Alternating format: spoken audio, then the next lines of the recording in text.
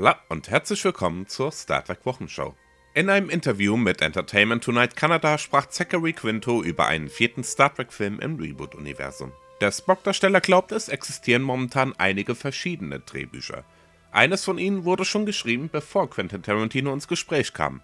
Laut Quinto arbeiten aber auch Simon Peck und Doug Young, die auch schon das Drehbuch zu Beyond geschrieben haben, an einem Skript, genauso wie ein weiteres Team von Autoren. Simon Peck erklärte dagegen im Happy Sad Confused Podcast an keinem Drehbuch zu arbeiten. Er wisse nur von zwei Drehbüchern. Eines aus der Feder von Mark L. Smith, basierend auf Tarantinos Idee, und einem zweiten von J.D. Payne und Patrick McKay, das Chris Hemsworth als George Kirk beinhaltet.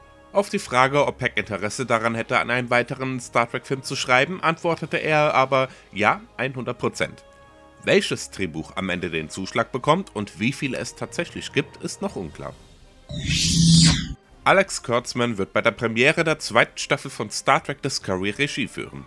Bisher war Kurtzman Executive Producer der Serie, hat aber auch zusammen mit Brian Fuller das Drehbuch der ersten Folge, das vulkanische Hallo, und für die ersten beiden Reboot-Filme zusammen mit Roberto Orci geschrieben.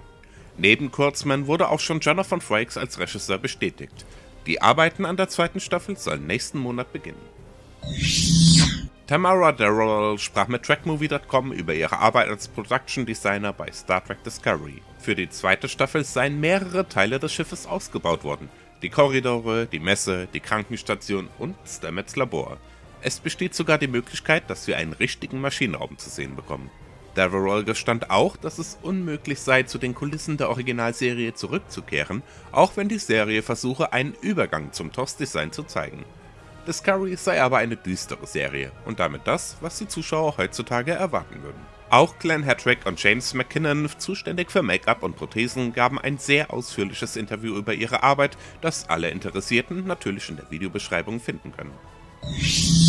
Discoverys siebte Episode T gleich Matt hoch 2 wurde in der Kategorie Beste dramatische Präsentation für einen Hugo Award nominiert.